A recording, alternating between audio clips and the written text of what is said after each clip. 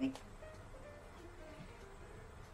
皆様こんばんは。在宅歯科カレッジの緊急生放送を開始していきます。えっ、と本日もゲストいらっしゃっていただいてます。えっ、とゲストは塩谷さんと,、えー、と管理栄養士の渥美さんとなります。お二人ともこんばんは。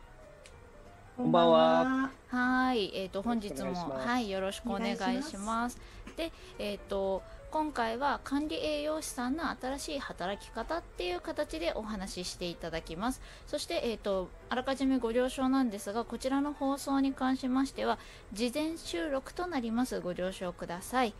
はい。で、えっ、とですね、実はまあちょっと先に個人的な宣伝をさせていただきたいんですけれども、えー、と実は、えー、と歯科の関係者の方々が集まるポータルサイト、えー、とホワイトクロスさんの方で5月19日に、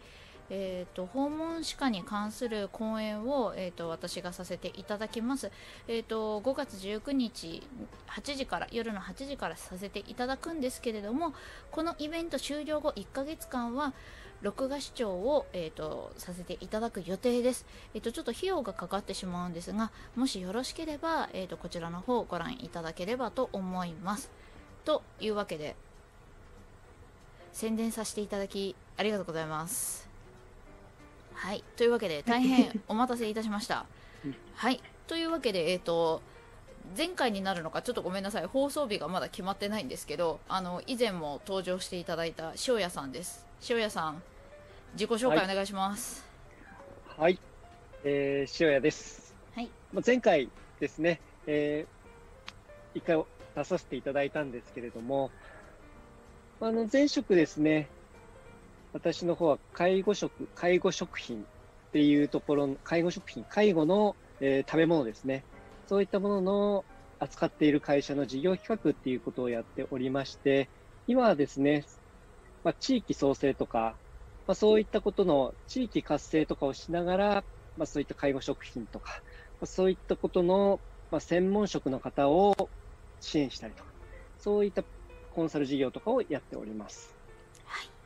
ベースでやっているのは貿易の会社です。はいはい。よろしくお願いします。はい、あの詳しく塩谷さんのあのねあの地域創生の思いとかアイスクリームの思いはまたあのこの間の動画を見ていただいて ということで、はい、よろしくお願いします。はい。えっとお願いしますはい、塩谷さんの方から渥美さんのご紹介お願いします。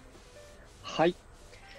えー今ですね、私の方で紹介させていただいたんですけれども、もともと私の方で地域創生っていうことをやっていたりですとか、あとはその高齢者の栄養、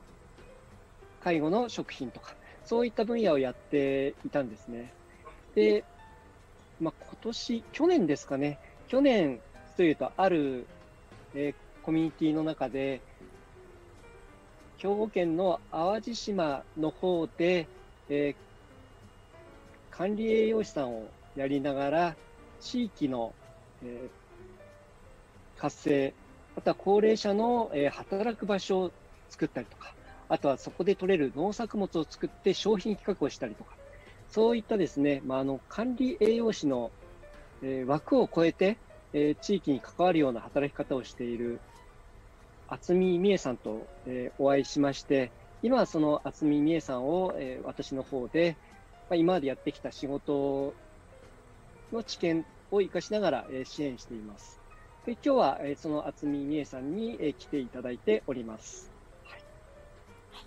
ありがとうございます。はいじゃあ、えっとそのまま渥美さんに移る形でお願いします。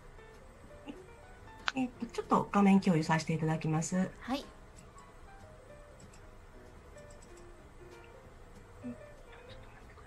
はい、どうぞ。はい。はい。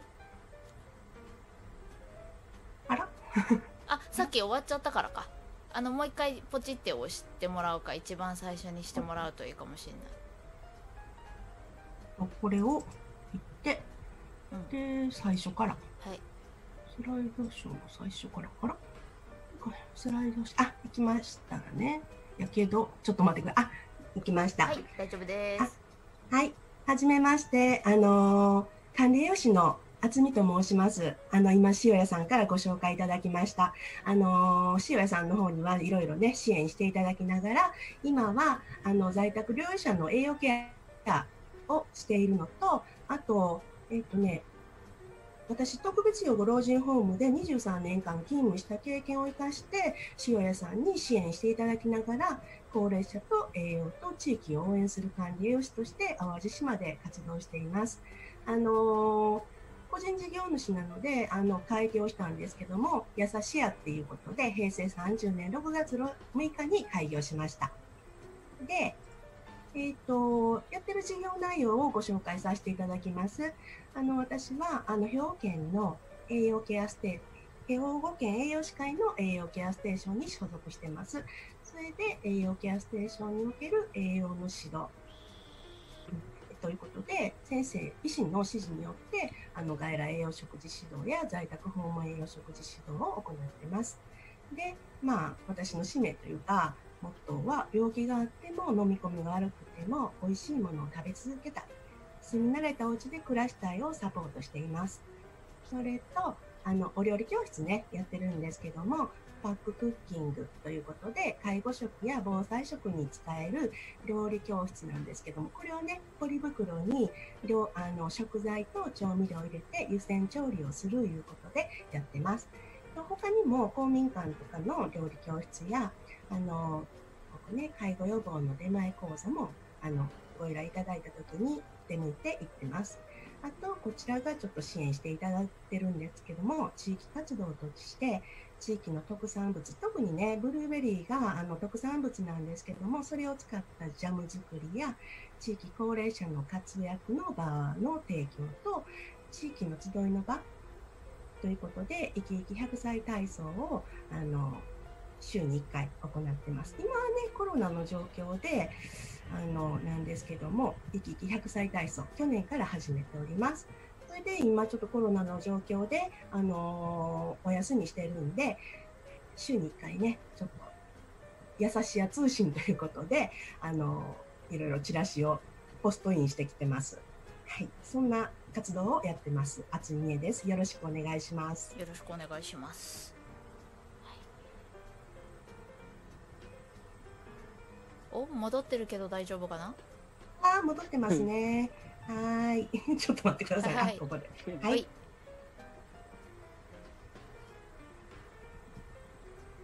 あ、これで止めます。はい。了解です。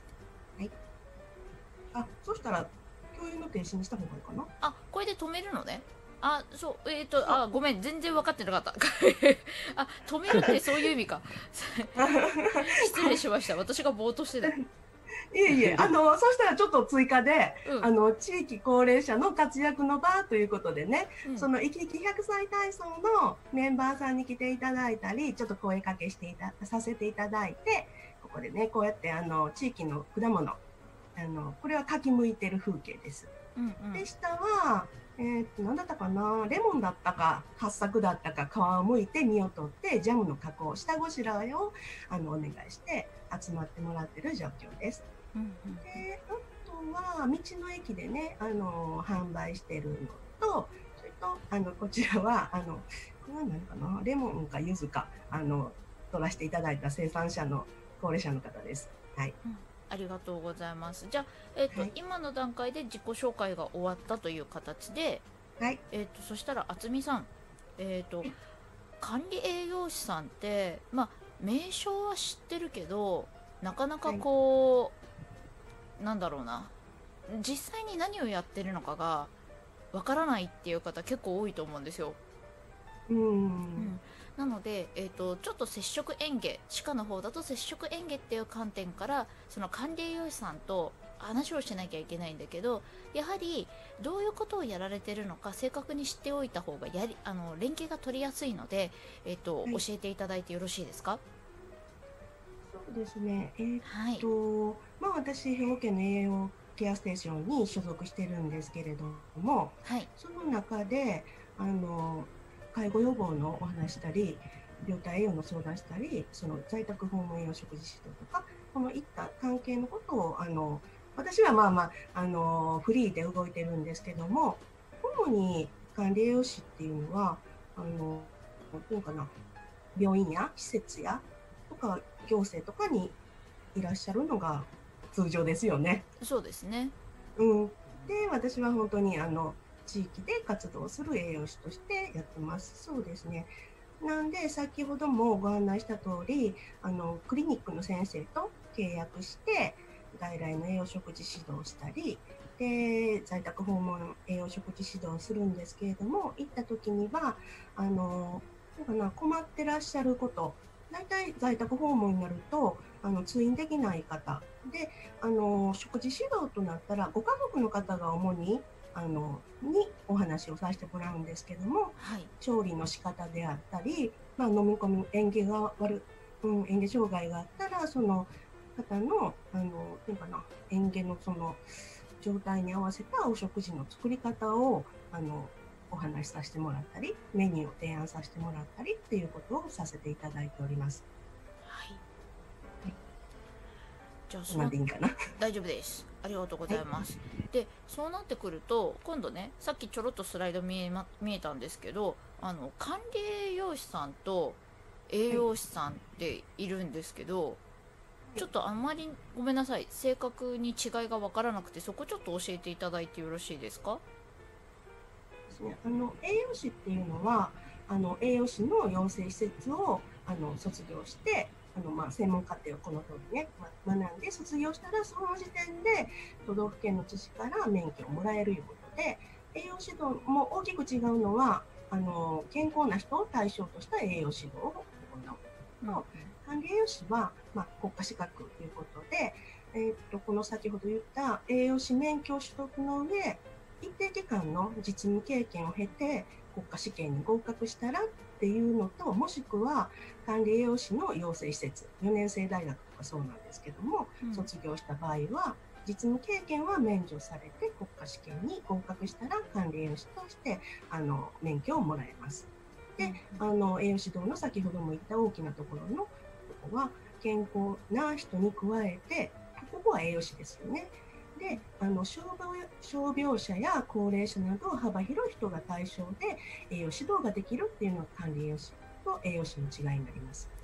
なるほど、ありがとうございます。まあ、基本的に栄養士の過程を得ないと管理栄養士にはなれない。そうですね。うんえっと、うん、栄養士の過程。まあ私もそうな、私はそうなんですけども、短大卒業してから、えっと、まあ実務経験を経てから、国家試験を受けたっていう形なんですけども、4年生大学の子は実務経験はいらないっていうことですよね。そのまま。国家試験受ければ、そこで合格したら、もう管理栄養士っていうことになります。そっかそっか。わかりました。ありがとうございます。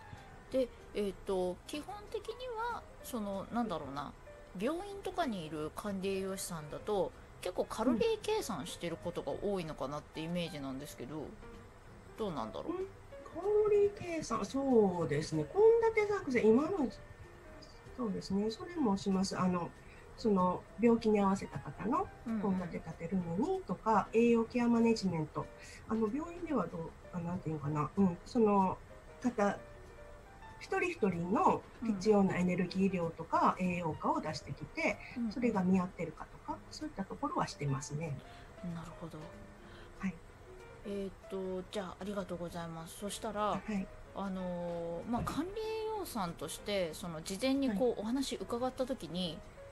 はい。なかなかアグレッシブな行動をされていたというお話があったんですけれども あのちょっとそこら辺をお話ししていただいてよろしいですか？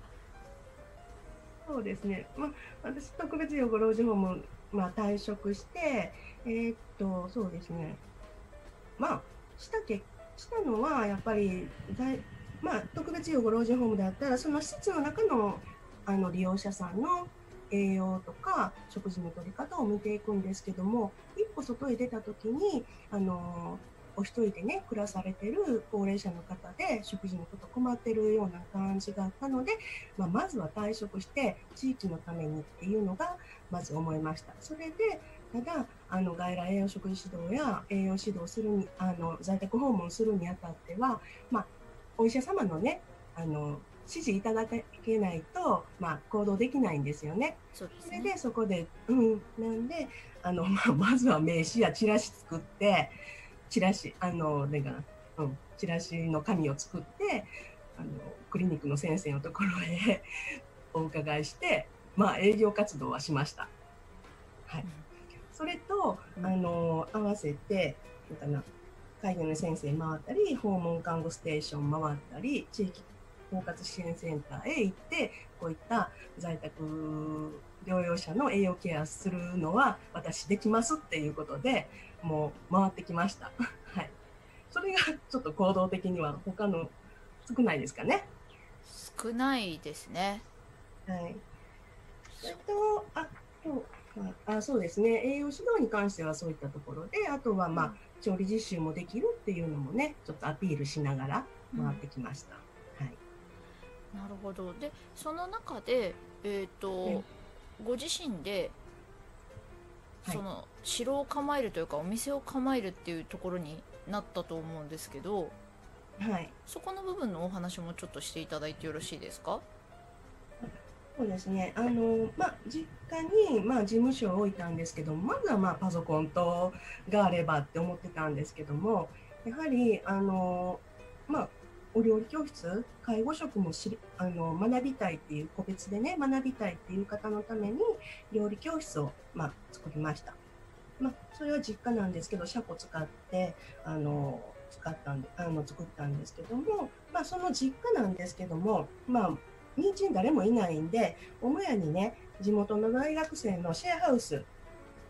を作ってるんですけども、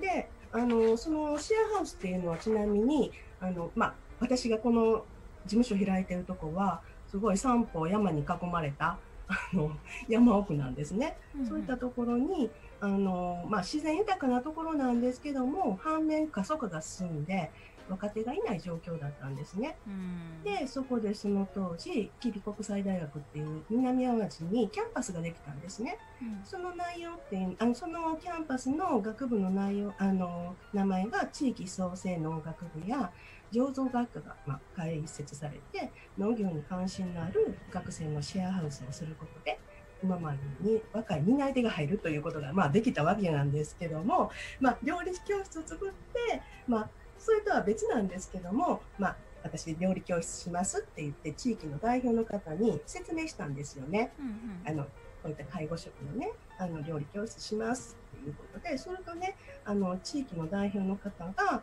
あのそのさっきの話なんですけども特産物のブルーベリーを作ってあの使ってジャムを作ってくれへんかっていう協力してほしいっていうお話があったんです。おあつみさん、まあせせっかくなのでさっきの画像に戻せます。あはい。あそうですね。あのジャムの写真とかそこら辺かな。ジャムの写真ね。あら？飛んじゃったかな？待ってくださいね。あここですね。そこですね、うん。はい。そのまますいません、です失礼しました。あはい、ありがとうございます。はい、はい。それで、まあ、協力してほしいっていうお話いただいて、いた、いただいたんですね。で、以前から、あの、地域でね、なんか学生さんとかも、あの、入って、地域の人だけでジャム作ろうっていう話してたらしいんですけども、まあ、なかなか、あの、進まなかったんですね。場所の問題とか、保健所とかの、あの、うん関係で、衛生面の関係でね、じゃあ私管理栄養士やから、まあ、料理教室するのにも、あの、加工場を作るのもできます。まあ、保健所の人とちょっと相談しながら作ってみますねっていうことで、えっ、と、ここで言ったら、うんと、ここですね。ここが加工場。うんうんこっちが、うん、料理教室っていう感じで、2場所ね、分けてね、あの、作ったんです。うんうんで、まあ、その辺もできて、次はね、あの、まあ、できました。最初は、あの、シェアハウスの、まあ、違う場所にあるシェアハウスの女子大生さんと一緒にね、地域の方と一緒にジャムを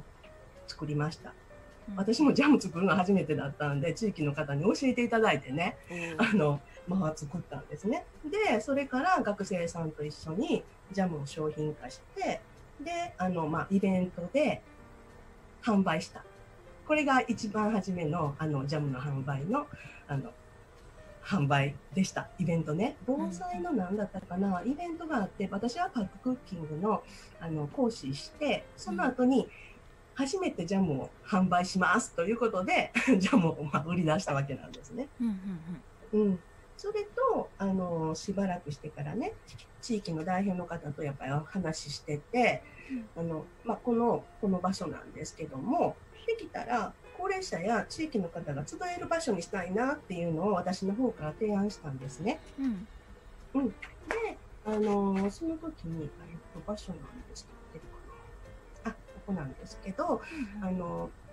その南淡路市というか、まあ、全国レベルでねあのフレイル予防で生き生き100歳体操っていうのが始まってて、まあ、そういった地域でフレイル予防のための,、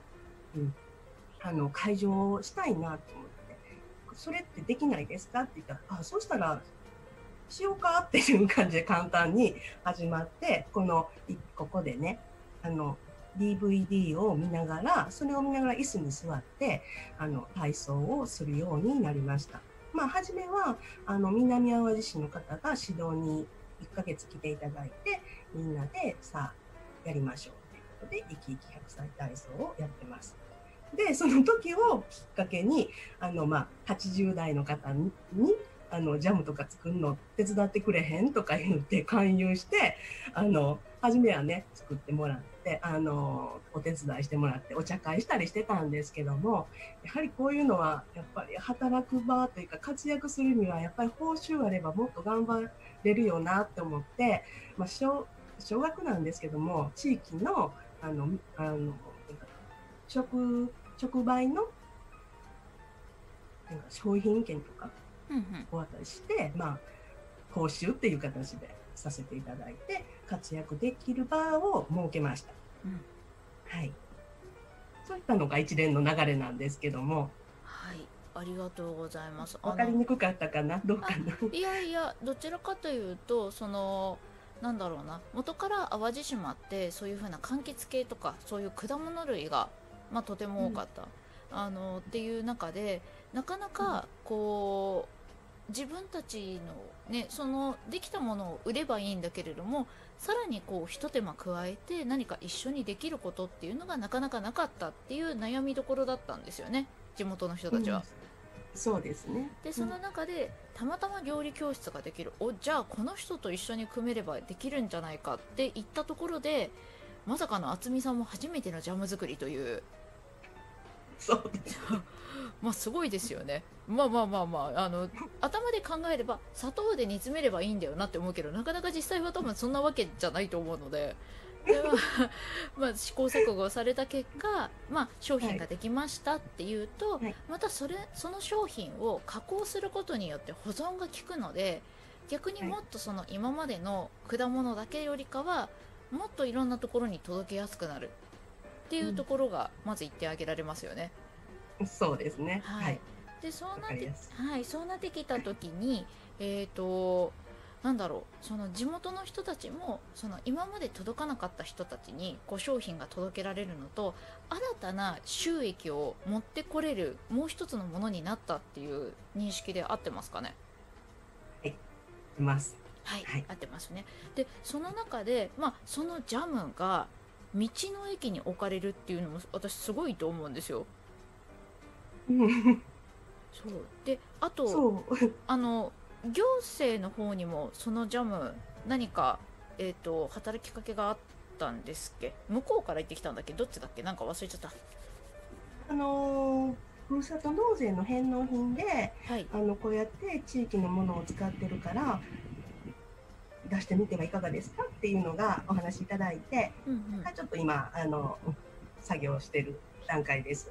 いやーもういいですよね。そのなんだろう地域の人たちのそのジャムを作るってことでまあなかなかねお金っていうか、まあ、その報酬っていう形はいろんなものがあると思うんですけどそういう風な綺麗な循環ができてるっていうのはすごくいいなってこの話を聞いてだから塩屋さんが紹介したかったんだろうなって思いました。ありがとうございます。そうです。突然来るからね塩屋さん嬉しいいやいやいや、ね。全然、あのね、油断してないですよ。ちゃんと聞いてましたよ。たよかったよかった。つ振られるのかなと思って。あよかったよかったよかった でも、あのー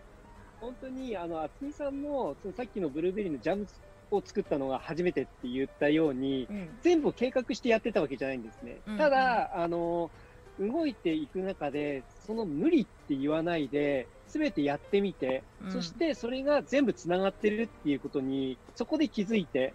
そして、まあ、あの、渥美さんだけじゃなくて、地域の人もそこで気づいてっていうことで、さらにその循環を良くしていこうっていうふうに動きになってるので、これってすごいことだなっていうふうに僕も思ったんですね。うんで、えっ、と、話して大丈夫ですか？大丈夫でしょう ありがとうございます。あの僕もその地域のことをやっていて、その地域創生って言って、今、まあ、あの首都圏っていうと、まあ、人口の3割ぐらいがいて、他の7割っていうのは田舎なわけですね。で、まあ、これから、まあ、その田舎の7割の地域って、地方の7割っていう地域っていうのは、ずんずん高齢化率が上がっていって、で、地方創生って何やるかっていうと、そこに移住する人を増やしたいとか、若いい人たちを引っ張ってきたいとかって言うんですけど、現実的に無理なんですよ。正直。あの、まあ、そういったところに成功しているところももちろんあるんですけれども、ただそれを全部の行政でやるっていうことは正直無理で、で、それが何の解決になってるのかっていうことも、うんと、まあ、なんか、課題意識がちょっとあやふやになってるっていうところがあるんですね。地方創生の面で言うと。っていうところもありますし、あともう一つ、その高齢者事業、まあ、その高齢者職っていうところで考えたときに、僕もその、まあ、自己紹介でお話ししたように、企業の立場で、えー高齢者の必要な人に高齢者食、その柔らか食だとか、あとはその病者食だとか、そのカロリーを上げるものだとか、そういったものをどうやって伝えていくかっていったときに壁がすごいありまして、えっ、と、いっぱいあるんですよ。それはまあ、最初に認知の壁っていうところで、まあ、誰も知らない。まず介護職っていうことはあること自体知らなかったりとか、まあ、もし知ったとしても、えっと、誰からそれを伝えられたかっていうことによって、やっぱり拒否する、拒否しないっていうのもあるし、知ったから必要だって分かっていても、あの、その対象になる方が、やっぱりプライドがあって介護食ってまあ食べないとか、なんかそういったのでいっぱい壁があって、なかなか必要なものが必要な人に行き着かないっていう、まあ、それはそれで課題があったわけですね。で、えっ、と、やっぱり、その地域の中で、えー介護食、まあ、その栄養のことっていうのは、その、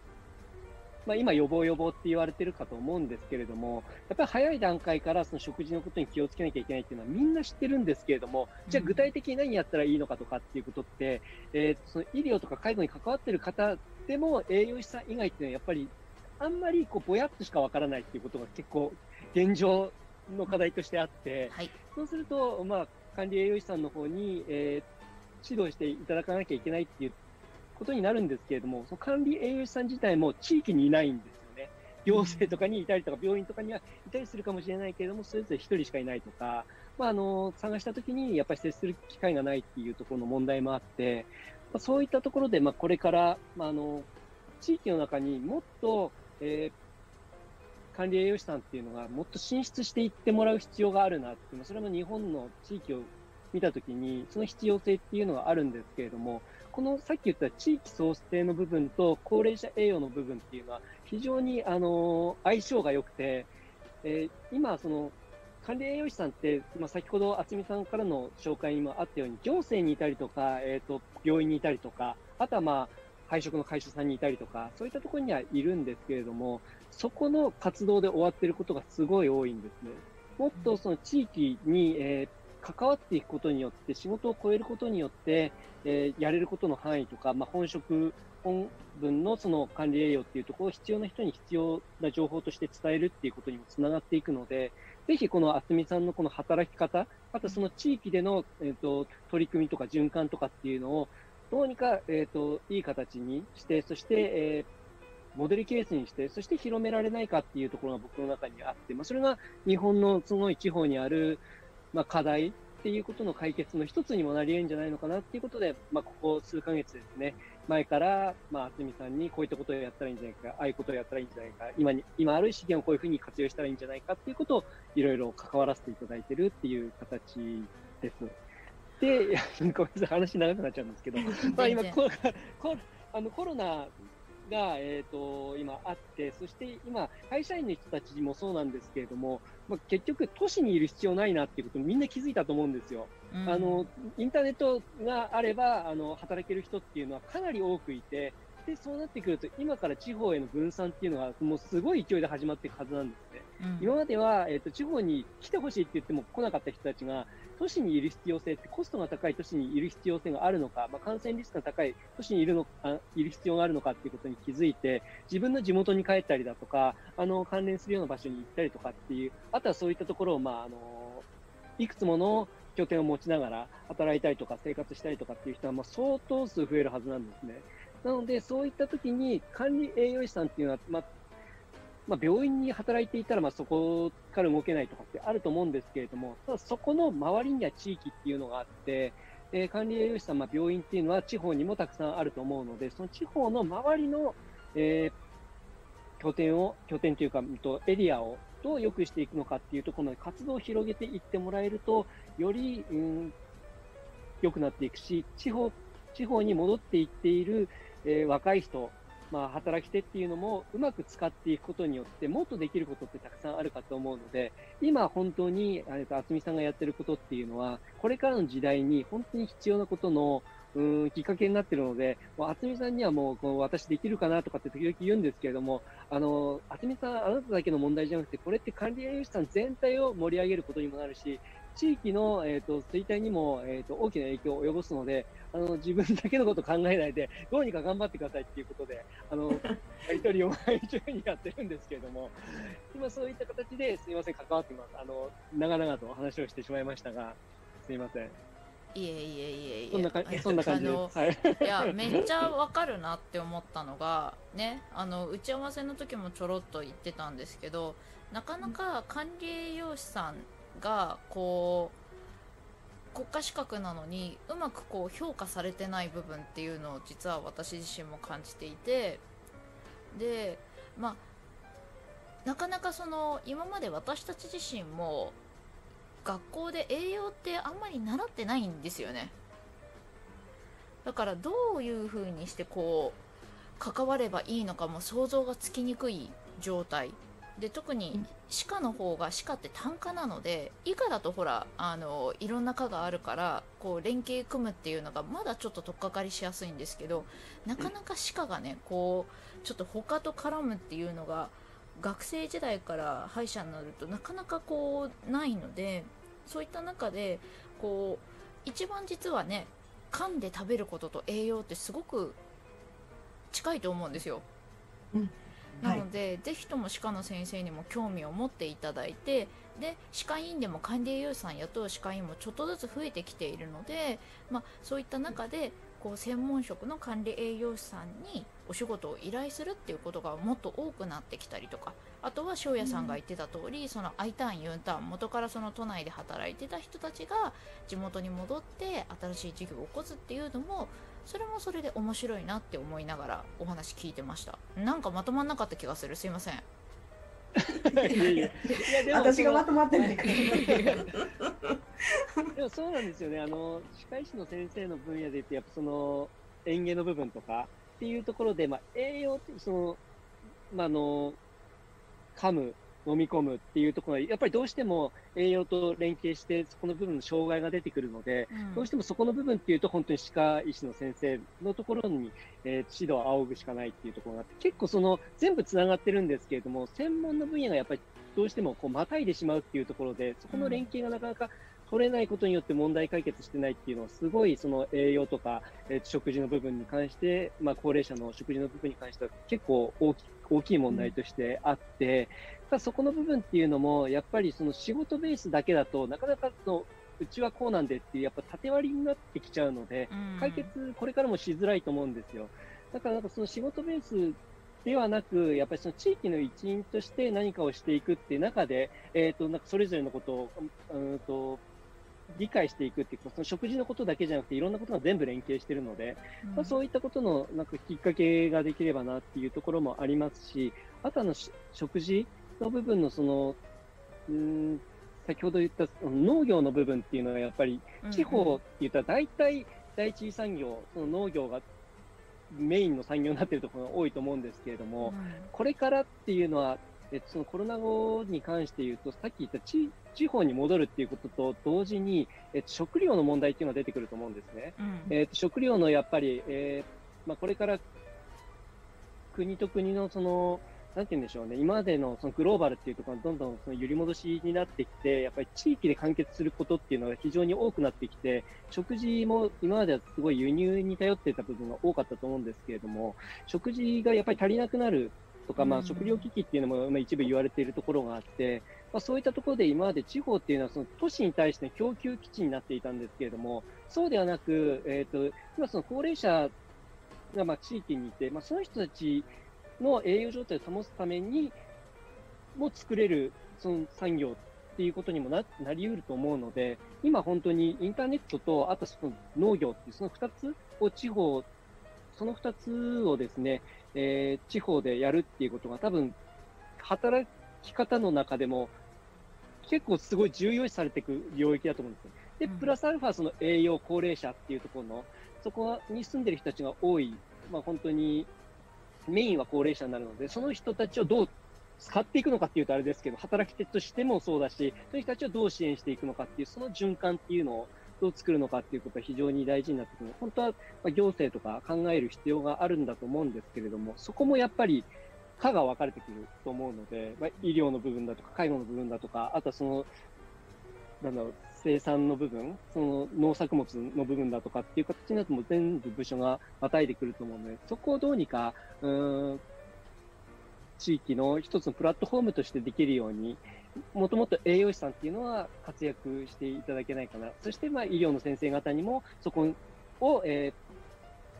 ー、なんだろう、指導するというか、うん、栄養士さん単独ではそこら辺って動きづらいところがあって、やっぱり歯科医師の先生とかに、えー、指示していただいて、そして栄養指導行ったりとかしてるパターンがすごい多いので、ぜひそこら辺ですね、えー、まあ、あの、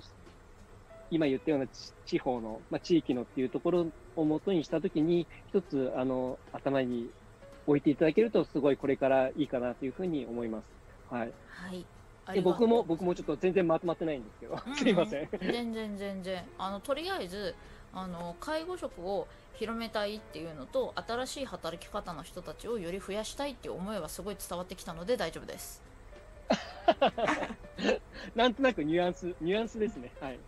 まあまあ大事大事大事。まあそれだけ押したい理由も分かったので、す。ごく良かったと思いますよ、あよかったです、ありがとうございます、はいでじゃあちょっとお話戻ってそうなってきた時にまああの渥美さんのその取り組みの中で、まあ、今ね、はい、このちょうどあの介護予防のあの出前講座って書いてあったんですけどその介護予防への思いっていうのもかなり、えーと、渥美さん自身も強く持たれていたのでそこの部分ちょっと教えていただいてもよろしいですか？そうですね、まあ、私は、まあ、特別養護老人ホームでずっと勤めてたっていうのをお話したんですけれども、まあ、その特別養護老人ホームに入るここに至るまでの前段階、要介護になる前段階にして栄養士としてあの食べることを介して何かできればっていうのがあったんですね。で要介護状態にならなかったら、まあ、住み慣れたお家で過ごせるっていうのがあったんで、まあ、そこをどうにか進められないかなと思ってまあ、地道なんですけどもそういった介護予防にの出前講座ご依頼いただいたら必死になっていってます。はい。まあ、あのあれですよね。渥美さんの、あのーはい、住まれているところは淡路島なのでさすがに淡路島ない、うん、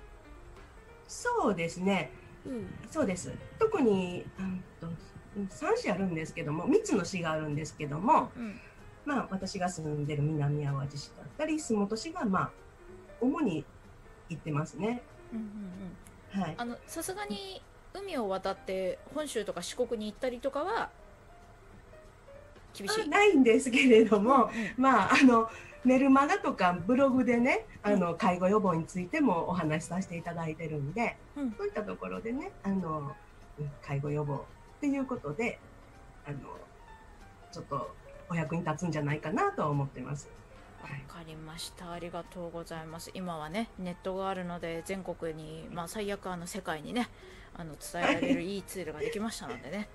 はい、でえっ、ー、とまあ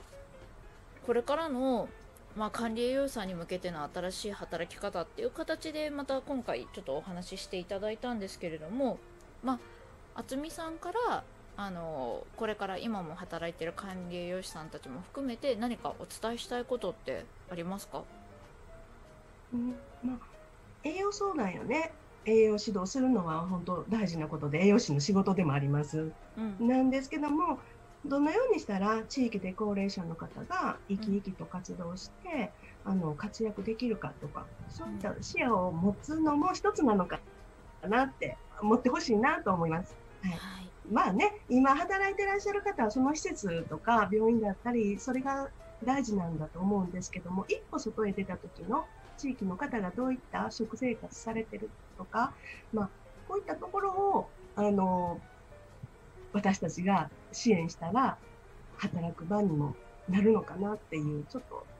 見方を変えていただくのも一つかなと思います。わかりましたありがとうございますえっと渥美さんこれスライド一番最後の出します？出さなくて平気？ああそう。ああそうですね。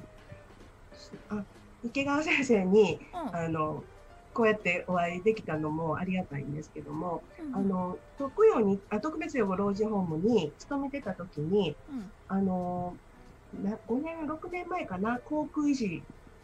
のあの加算とか算定があったんですね。ほうほうほうほうほう、はい。うん、その時にあの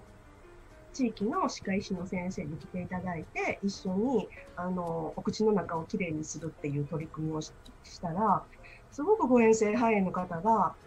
減ったんです劇的に。えななえ今初めて聞いたその話。そうね。今そう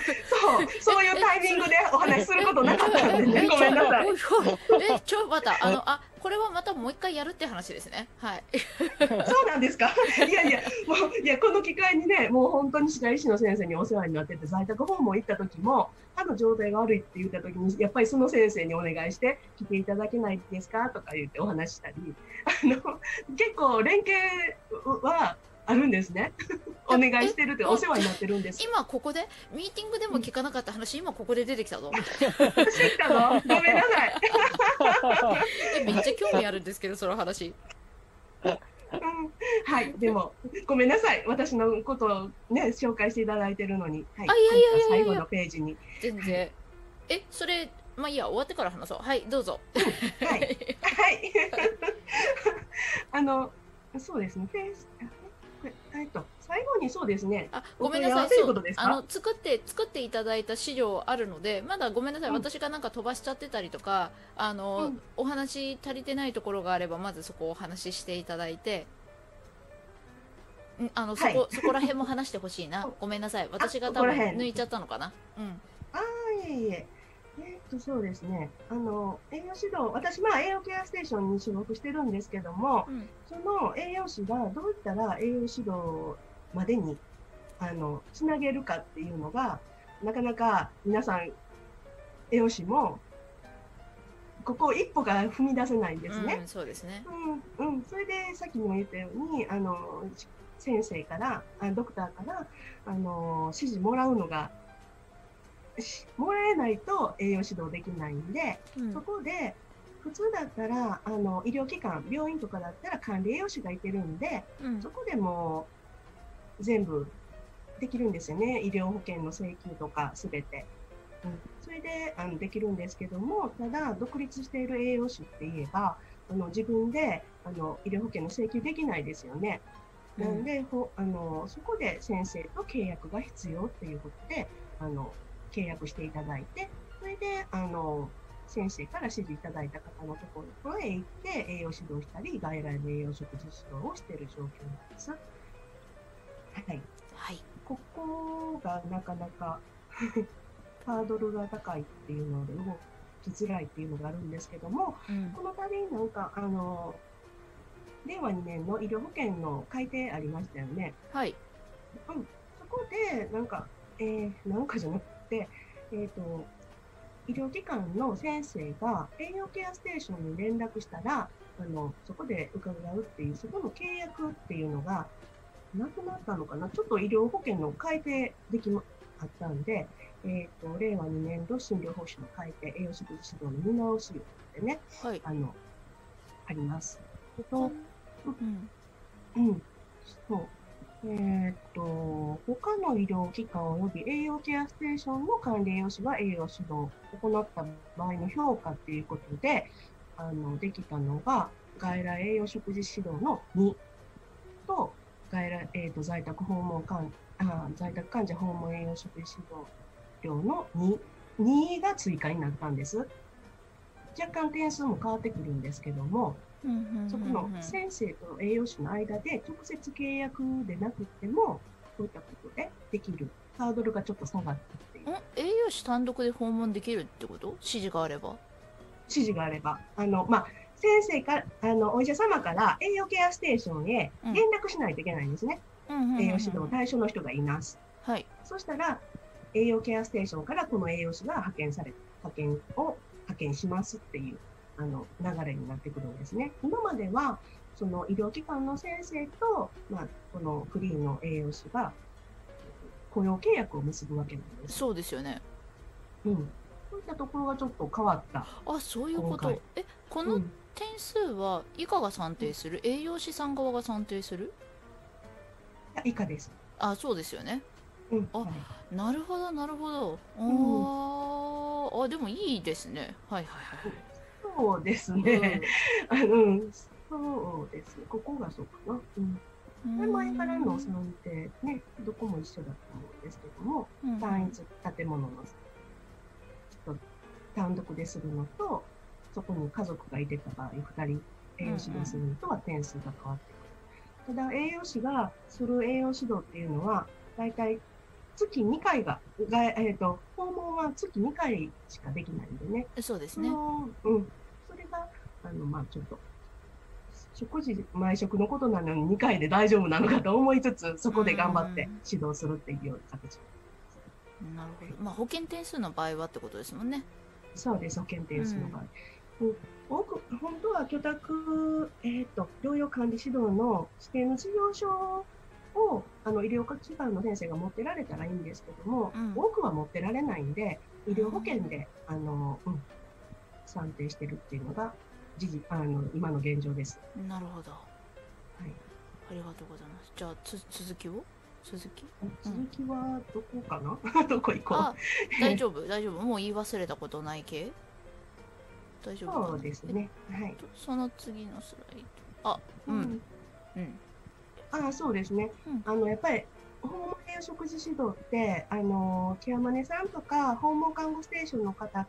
なんかできたらええのになと思いつつ、やっぱり、あの、訪問するにあたって、そういった、今まではその契約だったり、栄養士と先生との間の契約だったり、あの、お医者様がやっぱ必要と思わなかったら、やっぱり指示出ないんで、うん。そういったところって結構ハードル、ハードルが高いんですね。うん。で、で、相手方も台所に入ってもらうのはちょっとって思う方もいらっしゃるし、うん普通にしてるから訪問は無理ねっていう方もいらっしゃるんですけども、ちょっと前段階の時考えてもらったら、通院されてる場合はね、やっぱり、あの、そこで、そのクリニックで栄養指導できるんで、そういった時に、あの、栄養指導を使ってもらえたらいいなと思うんですね。うん先生に減って言われたけど、どうしたらいいのとか、糖尿だけど、まあ、どんなことをしたらいいのとか、いろいろあるんですけども、うん。今、先生から、あの、今契約している先生はね、あの、考えた方なんですけども、うん。やっぱり薬ばっかり増やしても、もともとの食生活を変えないと何も変わらない。薬が増える一方で、薬を、薬薬ってみんな思ってるんやけども、食用上せえへんと結局は治らないよ、あんな改善できないよっていうのがあるんで、そういったところでね、今、外来の栄養食事指導を、あのその先生のもので結構件数は取らせていただいてます。うんはい。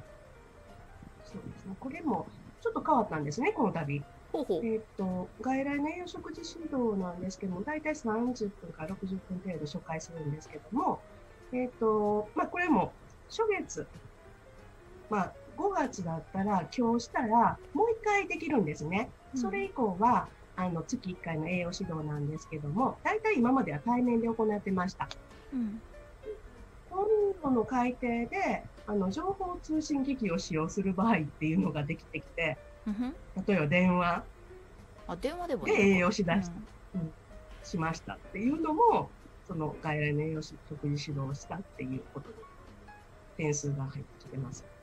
オンラインとかもそうなんでしょうね。うん。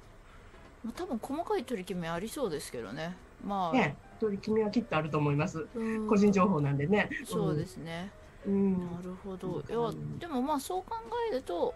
まあ、うん移動する手間とか考えるんだったら、まあ、電話でも済むんだったら点数下がっちゃうけどそれでもいいのかなっていう気は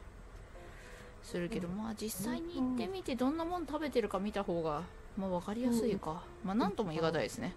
そうですね。うん まあ、そういったところで2点ね、外来栄養食事指導と在宅、あの、訪問科栄養食事指導もありますっていうことで、そういった活動もしてます。うんうんうんうんはい。であと今ここに点数は書いて、まあほとんど医療の点数で言ってるけど実はその介護の点数あるんですよね栄養士さんも。あります、あります。はい。うん、で、えーと、あ書いてた？載ってたね。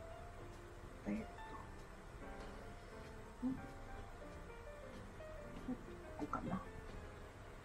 そうですね。介護保険の要支援、要介護を受けている方、もしくは医療保険を利用している方で、通院困難な方っていうことで、うんうんはい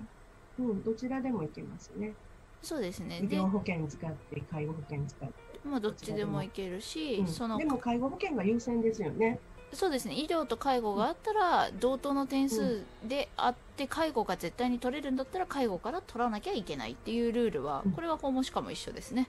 はい、はい。でその中で、えー、と言いたかったのって、その介護の点数、えー、と356とかそれぐらいだったような、まあすえっ、とね、介護の方、ここですね。えっ、と、ちょっと点数変わってるかもわからない。あ変わったちゃいですね。ちっちゃいないくつだろう、うんそれああのあつみさんあつみさん右下にね、はいあのねパーセンテージ増やせるからちょっとあの大きくしてもらっていいですか？あのバーがああ、ってここですね。そうそうあーこれですね。はい、ははいい。はい。えー、いかがでしょうか？見えましたでしょうか？あ533か、うん。まあ530ぐらいですね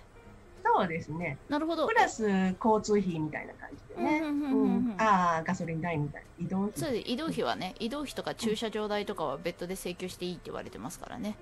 はいで、えっとそうなってくるとこの533単位がケアマネさんによっては自分のケアプランの中に入れなきゃいけないって思ってる方ってまだ結構多くてはい。はいで実は、えっと以下と歯科と薬もあるのかな、とあと管理栄養士さんはうん実は、あのケアマネさんの持ってる単位数の枠外なんですよね。そうですね。枠外です。はい、はいなので、えー、と今もうケアプランいっぱい使ってるから無理なのよってたまに訪問しかも言われるんですよななんですけど、いや、はい枠外なんで大丈夫ですよって言うとああそうなのみたいなうん。そう知らないそう。え結ケ構ありますよね。さんもそう思ってらっしゃいます。えていうか私あの栄養士でかあの介護の点数ついてるってごめんなさい知らなかったので、まあ、考えてみたらそうか居宅療養管理指導だから一緒かって思って。はい。そうですよね。はい。そうです。なのでぜひぜひん。あのお困りの方でちょっと思い浮かぶ不安な方がいたらぜひともあのお近くの栄養ケアステーションでいいのかな？そうです。ははい。い。各都道府県にありますので。はい。そちらの方にお問い合わせくださいませ。はいって形で。あとじゃあ一番最後のスライドかな？お知らせ的な？ああ、お知らせ的な。おっと。ここで。でごめんなさい。ちょっとね拡大しちゃったので見切れてるけど全部入ってるかな？入ってますか？うん逆に大きくなりすぎたな？うんそんなもんかな？はい。こんなもんですか？はい、はい。じゃあこちらのスライドのご説明を。あの、Facebook では、あの、まあ、ほぼ毎日、ほぼ毎日、あの、こちらの、おうち介護食栄養アドバイザー管理栄養士、あつみえっていうことで、ちょっとお話、栄養に関してとか、ちょっとしたジャム作りのこととか、パッククッキングのことの情報を流してます。で、介護食のブログ、アメブロの方でやってます。で、ブログから、まあ、メルガマガンの方も、あの、介護職、在宅介護について、介護食についてお話しさせていただいてます。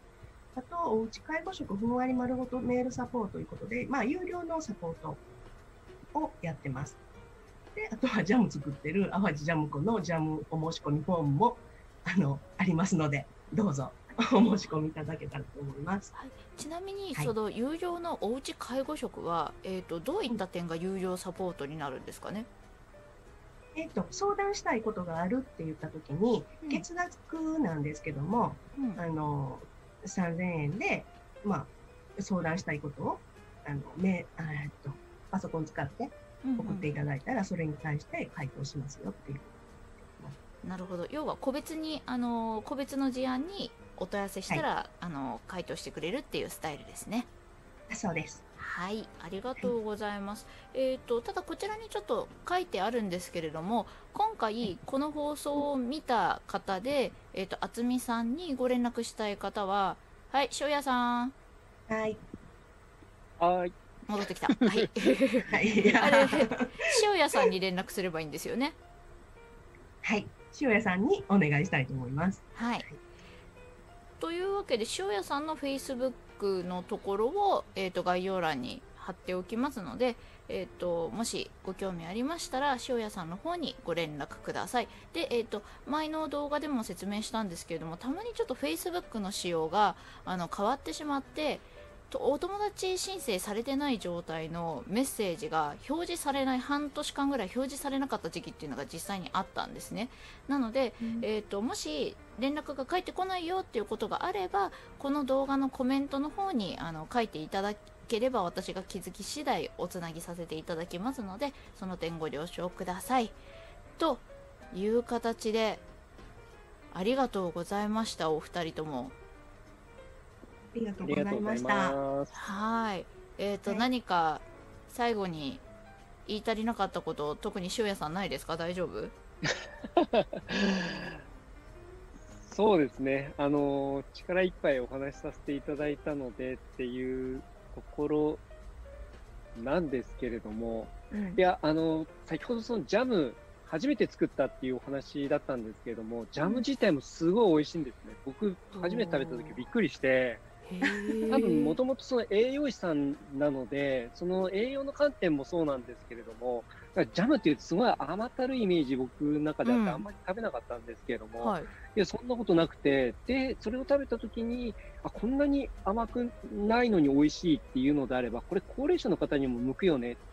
で、これを使ってどうにかできないかなっていうことで今商品企画をしてるんですね。特にそのエネルギーアップっていう観点で、えっ、と、ジャムって、まあ、ね、あの、普通の人たちはそのパンにつけるとかっていう使い方だけだと思うんですけれども、あの、それ自体をドリンクにしたりとか、うん。何かに入れて、えーそれをカロリーアップしたりとかっていうことにもいろいろ使えるので、今そういったことをですね、えーいろいろ試行錯誤してやってるので、ぜひですね、そういったこと試してみたいっていう、まあ、先生方、あと聞かれてる方いらっしゃいましたら、あのご連絡いただいて、ぜひサンプルを送らせていただきますので、それで あの試してみながら、はい、ぜひご意見いただければというふうに思っております。はい。あ初めて知ったからサンプルくださはい。ありがとうござい っていうかまあね元からジャムって紅茶に入れたりとかねイギリスだとうんしてるし、あのどちらかというと多分お二人とも分かっていただけると思うんですけど高齢者ってほら飲み込み悪くなるととろみつけたりするじゃないですか。うん。もう元からジャムなんでそうとろみついてるんですよね。うん、そうなんですよね。うん。で、今すごいいいのが、うんと、甘酒。甘酒？ううん、はい、甘酒も、あれ自体も、えっと、栄養がすごいあるじゃないですか。飲む点滴ですからね。そうですね。で、えー実を言うと、淡路島にも酒造があるんですね。おおさっきちょっと話が出てきた、その、最近できた大学っていうのが、うんうんえー、渥美さんのお宅からすぐのところに今来ていて、まあ、それの受け入れもシェアハウスでしてるっていう話があったと思うんですけれども、うんそこにも醸造学科があったりとか、醸造、もちろんあのお酒じゃないですか。うんで、そういったところでもう本当に今、うーん、関わってもらいたい。まあ、逆に言うともう一つずつも関わってるようなところもいろいろあって、そういったところとですね、一緒に商品企画をしていこうというふうに今進んでいますので、で、僕もですね、ちょうどこのゴールデンウィーク中にですね、えっ、と、さっき言ったそのジャムをですね、私が、私の会社でやり取りしてる銀行さんにね、あの、送っていただいて、そこからも、あの、すごい反響があって、あの、他のところにも紹介したいっていう、これがいただけるぐらい、本当に一口食べると本当にすごい美味しいジャムなので、それを逆にその介護とか、その、えうんと、高齢者の方向けにっていうところのコンセプトっていう、なかなか地域と掛け合わせてるコンセプトでそういうことをやってるところってないので、うん、ないですね。そこら辺をちょっとね、はい、うん、ちょっとエッジを出して、ただ美味しいだけだとやっぱりちょっと生まれちゃうんですよね、いくら美味しくても。で、そういったことを、うん、考えながら、これからやっていこうと思うので、ぜひ、その、先生方、医療の、まあ、見地を持った先生方からも、こういったふうにしたら、より使いやすいとかっていう意見も本当に望んでますので、うんそういったことも、あの、なんだろう、意見としていただけるっていうのも助かります。うんぜひ、そういったことをメッセージいただければと思いますので、ぜひよろしくお願いします。お願い。またじゃあその試食は動画でみたいな感じであのサンプルをお待ちしてますそうですね。もしよかったら、あの、 Zoomで、あ Zoomでっていうか、その番組で、うん。えっ、と、試食会をやっていただけないですか？うんまあ 皆さんにいいけどいいけどあそういうことはあのあちこちにってこと？もうじゃあ異界塾がさ再開したら医介塾でやればよくない？ああ、それいいですね。それ素晴らしい。あの、いいと思います。まああの持ち込みなんでね。なんかももちろんあのお店に許可取りますけど、ああ そっか。居酒屋ですもんね。うん。まあ、そっかそっか。あ、今までもね誕生日ケーキとか許してくれてるから多分事前に許可取れば許してもらえると思うんだけど。ああ、嬉しいです、あー、なんか嬉しいな。ね許してくれるところからちょっとお願いします。葛飾から。葛飾？あうちは多分大丈夫です。大丈夫です、え大丈夫なんだけどく。早くねコロナが落ち着いてくれないと。うん。ちょっとそうですよね。ねうーんあもちろんそれが落ち着いてからでもう十分結構ですので、はい。はいそうですよろしくお願いねします。はいはい。すいませんお二人とも特に塩屋さんに至っては日本撮りですからね それなのに、それなのになんかあの、余計に話をしてる。いや先生先生ね。僕僕の分量とかそんなないはずなの。いやいやいやいやいいやあじゃあ別に予定してないですけど3本目この打ち合わせしてない中で撮ってもいいっすよ何も会話決めてないけど さっきのごご遠征範囲について。いやさすがにそれは渥美さんのあの話になっちゃうから あのちゃんと打ち合わせしてなきゃそうそうでもすごいすごいいい取り組みをすごいさらっと言ったぞと思ってあらまあ。ちょちょっとびっくりしましたはいあ、本当だ。あれ？はい。いやもちろん今日のお話もすごくいい取り組みですよいやいやいやいやまたあの皆さんのね興味をそそる話が突然出てきたのでそこはあのちょっと終わってからちょっと聞かせていただきという形で、はい、あ、はい。すいません。お二人とも本当長い時間ありがとうございました。あ、こちらこそはい。ありがとうございました。ありがとうございました。はい。じゃあはい。一回ちょっとこちらで締めるのでお二人そのままお待ちください。はい。というわけで、えー、と皆様、えー、とお聞きいただきありがとうございました、えー、とコロナウイルスで自粛ムードが漂っている間は、えー、と毎日夜の10時から、えー、と放送をしております、えー、と当初にもお伝えした通り今回の,、えー、とあの放送に関しては事前収録となりますのでご了承ください。で、えー、と明日も10時から放送いたしますのでもしよろしければ遊びに来てください、えー、と動画の高評価いいね、えー、とチャンネル登録お待ちしております。それでは、えー、と皆様ありがとうございました。ありがとうございます。